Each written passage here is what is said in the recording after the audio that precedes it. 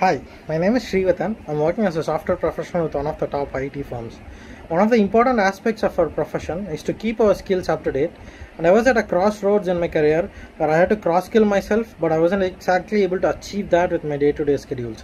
That's when I came across Captain Subbu's Warrior Entrepreneurship Program. The program has been quite a revelation, such that the certification programs was struggling to even get started for almost three years now. I've completed two of them in the last four months. Virtues like taking a plunge, expanding our comfort zone, which are pillars of this program, they help us not just to get started with our goals, but also to eat into the journey of achieving our goals relentlessly, yet without feeling the burden of going through it.